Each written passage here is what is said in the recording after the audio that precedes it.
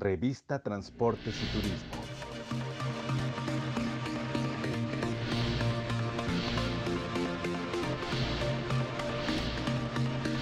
La crisis derivada de la emergencia sanitaria provocó que algunas flotas se cuestionaran si era momento de ingresar en nuevos mercados y ofrecer más servicios, reavivando el dilema de la estrategia de negocio más adecuada, la especialización o la diversificación. Los expertos comparten que una eventualidad como la pandemia no debe llevar al empresario al pánico o la euforia por cambiar de estrategia.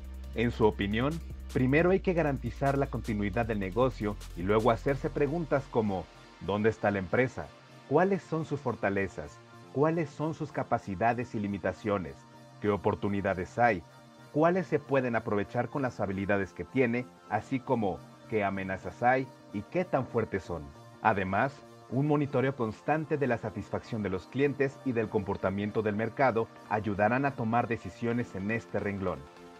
Una vez analizadas estas situaciones, el empresario tendrá más claridad para adaptar su empresa y decidir si es conveniente o no diversificar sus servicios.